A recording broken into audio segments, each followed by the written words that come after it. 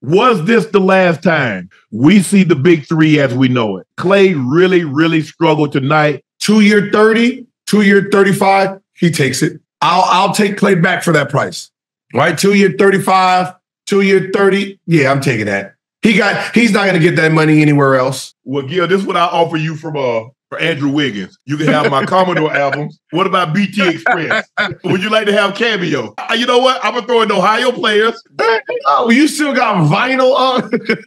hey, what about you like this? You got who is this? Parliament? Oh, I got LTD. I got Atlantic Starr. Elements of the Universe. Earth, Nope. Wind, and Fire. The Bar-Kays. Now you can't have all these. Now I'm gonna give you about four or five of them. I got TP, Teddy Pendergrass. Okay, I heard of Teddy. I'll give you four of those for Andrew Wiggins. That's all I got. I ain't got no players. Now, watching the Olympics, watching the Paris Olympics, Wiggins go out there and try to get a USA by 40. If he goes to the Olympics and score 20, they should whoop his ass when he get back to Golden. Shannon Sharpe and Gilbert Arenas talk about Klay Thompson leaving the Golden State Warriors. And if the Warriors dynasty is officially over, I want you to hear exactly what they had to say. And then I'll come back with my comments. Was this the last time we see the big three as we know it? Klay really, really struggled tonight. If I'm not mistaken, he was 0 for 10 from the floor. And I think he was like 0 for 6 from the three point line. So, do you believe, Gil, this was the last time that we see the big three as we know it? I have no idea, to be honest, because you know, if Klay's gonna take a pay cut, then then yes, I'm pretty sure he'll sign back. Um, I know making the case. This is when you know Klay is really, really having a hard time not being signed. The fact that you've already had a horrible season. The one game you can get to get your value back up, you put out a zero, which is the first time he was scoreless in about 159 playoff games. His worst playoff performance is the last thing we're going to remember when he's going into free agency. So if I'm him, I don't know if he signs a one year deal. If he wants a four year deal, it's going to Oh, be hell no. four year 30. It, it ain't going to be what his real value is. So whoever gets him, they stealing him. I, do, I don't see him going anywhere else. I do see Warriors getting him for a very cheap price. Yeah, uh, it seems like he only shoots really good against the Lakers. Think about every time he comes to the crib, how he shoots the ball, Gil. You remember last two times he showed up? Not the Lakers out the building. Steve Kerr said after the loss, we need Klay back. He still has good years left. We des- desperately want him back. Chris Paul, 19 seasons, zero championships. Only Vince Carter, 22 seasons. Jamal Crawford, 20 seasons, have played more seasons without winning a ring. Ring. Is Chris Paul back? Ooh, nah, he ain't back. Oh, this is oh, this is oh, this way. This Chris Paul's first. This is the first time he missed the playoffs in about 14 years. Oh, I know he's salty because he's a competitor, right? Yeah. Uh, you know, he, he's a competitor. So, you know, I Well- feel sorry for Well, right now, Gil, he he complete he competing against Father Time. He ain't competing against nobody nobody on the court. It's Father Time, and he and Father Time with it. you know what I mean? I feel sorry for those guys, right? The Chris Pauls, the Steve Nash, the John Stocktons, um, because of this. The idea of who they are, right? They are there to get you better, to make you look better than you really are. So there's guys Chris Paul made look good that got paychecks off of his passing ability Yes, the fact that these guys are not being rewarded with the ring is like, why do you do it? Right? You mm-hmm. got guys out here scoring 30, 40, winning rings. You got guys averaging four, five points, starting, winning rings, and the guy who's who's a top seventy five all time. delivering contracts. That's what he out there delivering contracts, and then he goes and he can't complete his career. But I look at it like this: him winning the ring doesn't put him above Magic, He's not Steph. Above him now. It- uh, you know what I mean? If he's not in front of John Stockton, you win a, a ring at the end of your career, you playing minimal minutes, that doesn't do it for me. Like you winning the ring being the guy lets me know where you are. So if you're in front of John Stockton or not in front of John Stockton, that's where you are with or without. Right. You don't get you don't get in front of him because you win a ring coming off the bench averaging four points. That's not how that works.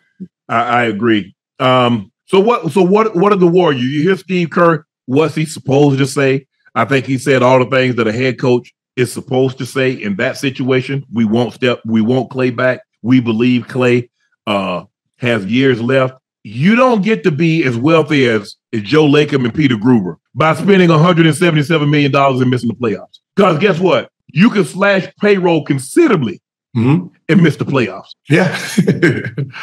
but but um they're they're in this real like I'm pretty sure they're gonna offload Wiggins, right? They're gonna offload Wiggins, right? The first thing is gonna see what they can get Klay for, right? If you can get what they offer him four year, what it four year four No, they offered him two. Did they offer him two years at 48?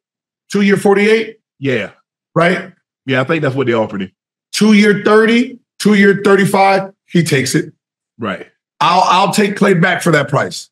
Right? Two year 35, two year 30. Yeah, I'm taking that. He got he's not gonna get that money anywhere else. Um, so I'm pretty sure they're gonna off um Wiggins, give Kuminga, he gonna give Kuminga that uh spot. I don't mind Well- Kuminga playing the three. Well, Gil, this is what I offer you from uh for Andrew Wiggins. You can have my Commodore albums.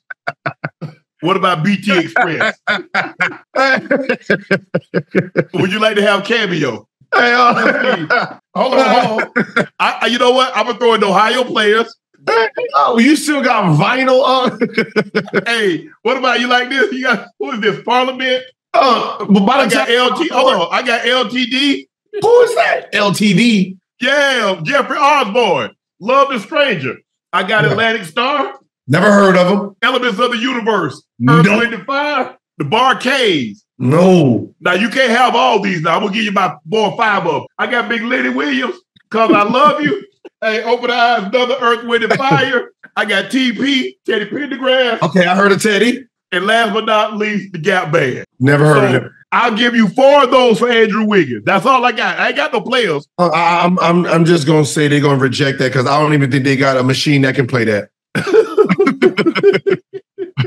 hey, and I throw the penny in to hold it to hold it down so it don't skip on you. So you Hey, take that penny down. And you throwing that Wheaties box with everybody signed? Ah, nah, nah, nah. Hell nah. Hell nah.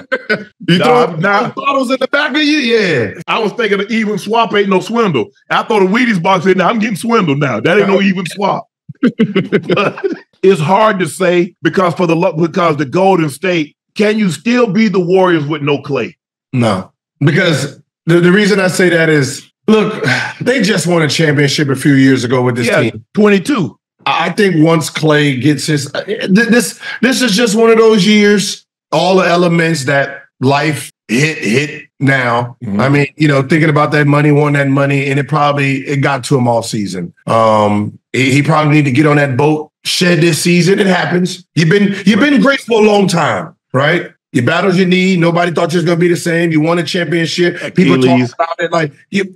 It happens Mm-hmm. right? You know, you got you just gotta you, you can't just this is one of those the- like be be grateful of the career you had, reflect on what you've accomplished Right. so you know where you're going next, right? I think sometimes we we're not living in real time, right? So we feel depressed, not realizing this legacy we actually done accomplished. And I think Right. he needs to sit back and look at the trail he done laid, the foundation he done laid, laid for his kids, his family, and himself, right? And I think once he see what he has done and sat mm-hmm. back, jumped out of his body, and said, "I was really that dude." Coming into next season, the pressure's gone. You think Yeah. the Warriors regret getting rid of, rid of Poole and maybe tried to moved on from Wiggins? I think they regret a lot of things. Poole going there, obviously, they thought he was going to be the replacement of Steph, and he showed in Washington that he just can't handle the pressure as the dude.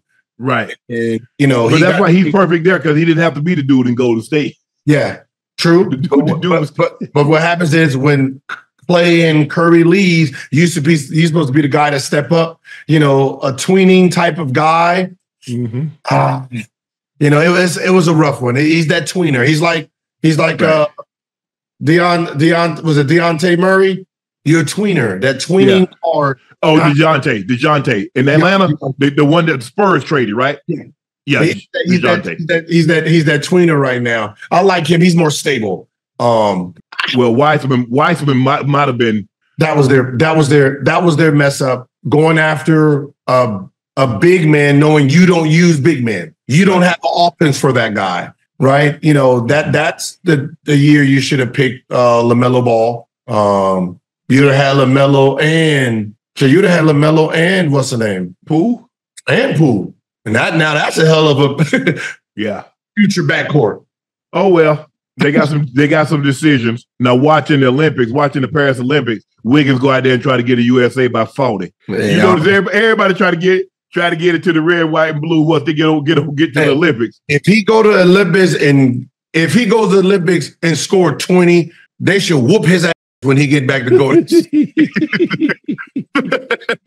Terrible night for Klay. 0 of 10, 0 of 6 from the three. Wasn't the best outing from Klay Thompson. Thought he was going to at least make one shot, make a three pointer, get to the free throw line. Where's the mid range shot? Can you get to the basket? Like, I know he suffered a lot of injuries over the last three to four years, but Klay Thompson, he's definitely fell off, not just because he can't score 15 or 20 points, it's just because of the inconsistencies. And Gil and Unc were talking about is Klay Thompson going to return to the Warriors? The Warriors almost paid $200 million in taxes, penalties. So, do you really want to commit to a lot of money to this current version of the Warriors just to make Steph, Klay, and Draymond happy? As far as Klay Thompson's contract, know Gil was saying maybe two years, 30 million, two years, 35. That's a team friendly deal. They'll be able to retain Klay Thompson, see what you can do about Wiggins, making a lot of money, a couple years left. That's going to be the main thing. How can we get rid of Wiggins' contract? Open up, you know, 30 to 40 million dollars. Chris Paul, he's going to be gone. This was his last year of his contract. So you got 28 million freed up. So the goal was, of course, Chris Paul leaving, finishing up his contract, and Wiggins. Without Wiggins, I think it'll be a no question that Klay Thompson will be back. But if you're unable to get rid of Wiggins and find a trade partner, it's going to be tough to keep Klay Thompson. So I'm not sure if the Warriors want to keep going over the luxury tax, paying all those penalties just to be a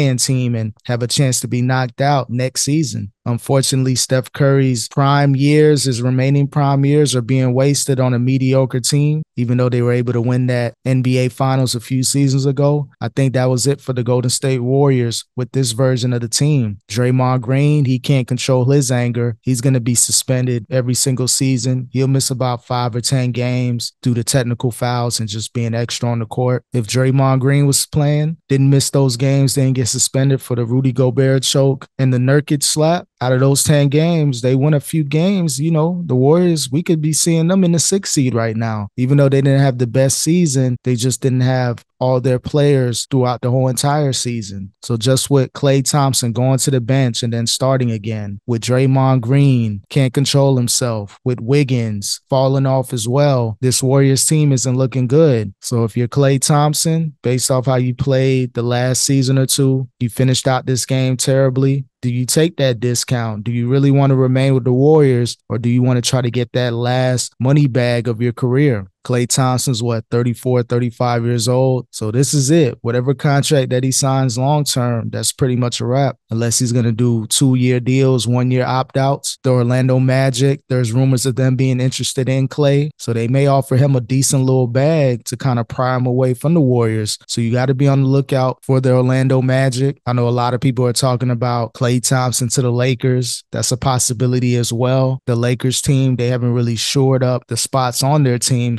I can see that being a possibility. The Miami Heat, maybe. We do need another shooter. Not sure what's going on with Duncan Robinson and his back issues. Tyler Herro gets injured every single season, so he's bound to miss 20 to 30 games per season. Is Klay Thompson willing to go to the Miami Heat organization and be that prime six man shooter coming off the bench? So there are a handful of teams that Klay Thompson can go to, but if he wants to finish out his career with the Golden State Warriors, he's definitely going to have to take that discount. Again, Warriors, get rid of Wiggins. Chris Paul is off the books. You can make some moves in free agency. The Warriors, they're going to need a big man that can shoot the three, seven feet tall. You got to get big because at the end of the day, the Warriors, if that three point shot isn't falling, they're going to have to find another game plan to score some baskets. Draymond Green can only do so much in the paint. He's been making some threes lately, getting to the basket. So he showed that he does have some offensive capabilities left, but he's not a guaranteed to score 15 or 20 points. He may may do that once every few games, but you're going to need a big man that can stretch the floor, a stretch five that can make that three point shot if you're the Golden State Warriors. Maybe you find that in the draft, or maybe you can sign a center in free agency or make a key trade, including Wiggins. So the Warriors, this version is officially over. You got to get better. The Warriors dynasty, in my opinion, it's an 80% chance it can change. It all depends on how they can move money off the books and if Klay Thompson signs for a team friendly deal.